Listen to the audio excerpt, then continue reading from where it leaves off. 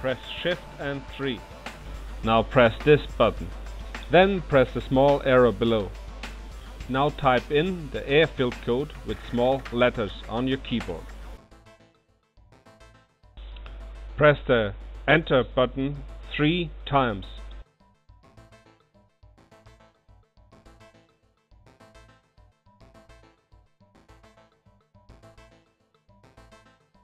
Now activate your waypoint by pressing this button in your HSI.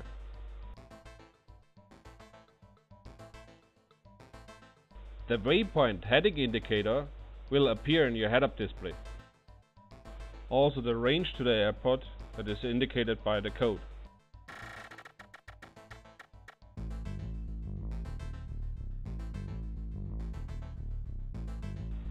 Click on the small ILS button, then type in the frequency without the dot. Press the enter button. Then activate the ILS system in your HSI.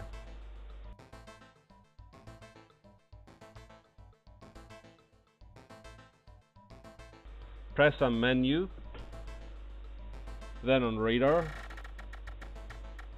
This is the angle of your radar.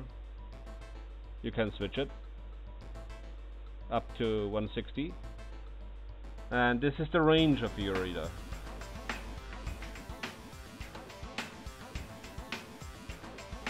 You see a dot on the radar, so press TUP.